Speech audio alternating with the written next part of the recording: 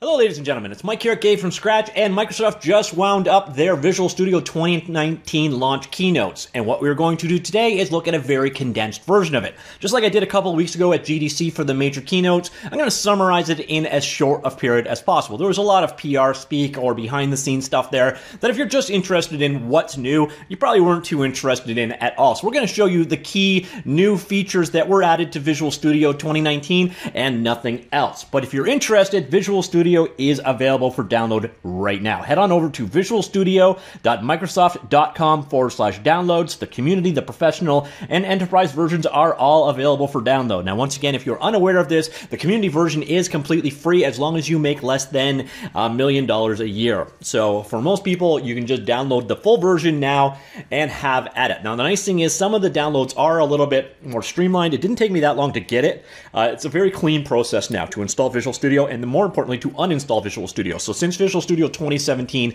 it isn't such a pig like it used to be in the past. All right, so without further ado, let us go ahead and look at what happened during the keynote. Now, the key parts of the keynote, pun not intended, started around the uh, 15 minute mark and they started actually demonstrating what is new in Visual Studio.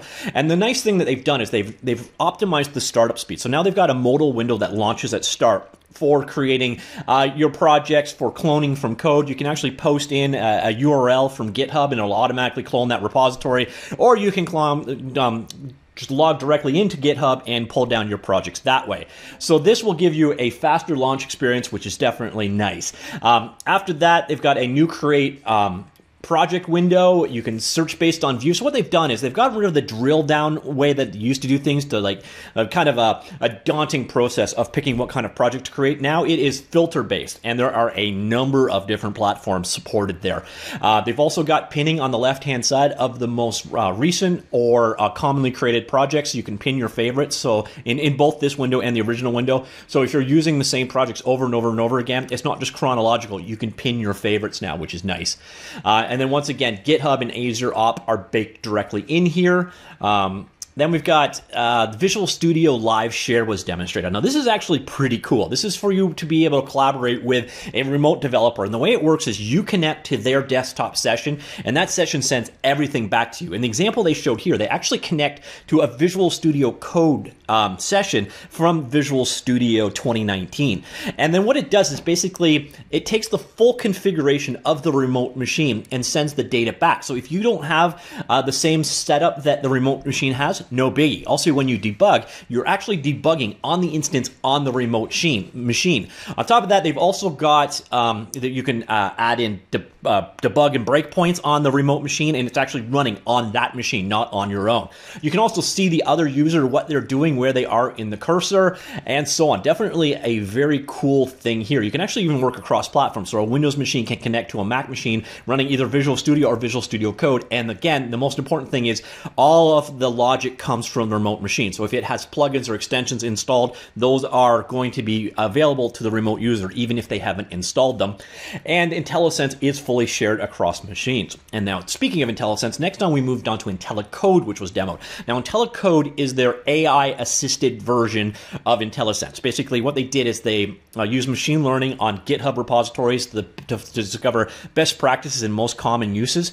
And what it does is basically it makes it suggestions based off of those. And now instead of being, you know, just a simple alphabetic order when you're doing things um, for IntelliSense, it's actually giving you the most common ones. So you're going to be able to do a lot of fill in the blanks coding here as long as it matches. Now, sometimes it's not going to match because your coding experience is going to be different than the remote one. Well, one other thing that was added here in IntelliCode is that you can now create your own local logic or rules that it will apply. So you can mix and match between the global best practices or your local version, which you can share with your team, and then kind of build your own local smart AI version of source code. So it learns your way of coding and gives you the uh, the suggestions based off of that, which is definitely a nice improvement there. Now, in terms of what language support um, IntelliCode right now. In Visual Studio 2019, it supports uh, C++, uh, XAML, and C Sharp, whereas Visual Studio Code supports all of those as well as TypeScript, JavaScript, Python, and Java. Uh, next up, they showed, uh, oh yeah, this one wasn't really shown, but you can go to launch.visualstudio.com uh, and there's a bunch of training materials available for Visual Studio 2019 right there. They didn't showcase it, but they did mention it. Excuse me. Now, the next big thing they did show, however, was uh, data breakpoints are coming to C Sharp. Now, this is one of the features I've been jealous of C++ developers over when I work with C Sharp. And what it allows you to do is basically set a breakpoint based off a data value changing. And it allows you to debug very complex systems in a much simpler way. So instead of having to jump through code until you get to a data of a certain value, you can just basically say, uh, if this value in memory changes, hit a breakpoint. And it really is a huge time saver. So it's nice to see that that's coming to C Sharp developers. Um, so where were we? Okay, so after that we've got uh, oh they also demonstrated using the Gears of War 4 source code base that debugging uh, the amount of memory used is way way lower. Uh, we get into live unit testing, so automatically reruns unit tests when code changes and the feedback is shown directly in the editor. Um, Visual Studio also now recognizes Unicode characters, so they had emojis directly inside of a string. Uh, makes it a lot easier to work with Unicode, especially for, uh, again, static or constant strings in your code. Uh, there's also a new option for wrapping your parameters for uh, code folding. Um, we get a new coloring system in Visual Studio that mimics the way that Visual Studio Code currently works. Basically, there's more context with how it works. They've also demonstrated a new ability to automatically switch between a for each statement and a linked version of it. So if you're not really that great with LINQ, but you want to LINQify your code, there are now tools in for automatically converting between the two. There's also new improved tools for uh, code cleanup, including you can export your settings to an editor.config file uh, that lives within the code repository, and then code cleanup can run using those refactoring settings for all of your code going forward. Uh, Visual Studio for 2019, Visual Studio 2019 for Mac has the same IntelliSense code refactoring and highlighting code that we saw in Visual Studio. It's actually built on the same Roslyn-based code, uh, so those will now improve at the same rate as well, and you will get superior IntelliSense code refactoring, etc., in Visual Studio for Mac. Also on the front of um, Xamarin, so IntelliCode is supported in Xamarin. Uh, there's also now a properties panel for configuring XAML properties without having to go into the code. Uh, makes configuring your XAML uh, items so much easier now. So if you want to set like the background color or shadowing or bordering or whatever, there is now a new property windows makes that a whole lot easier to work with. They also said that they improved the whole developer loop in general. So Xamarin install is smaller. The uh, build process and deployment process are faster, and the Android emulator supports Hyper-V, so should run faster if your version supports that. Coincidentally, you do need Windows 10 Pro versions to have Hyper-V support.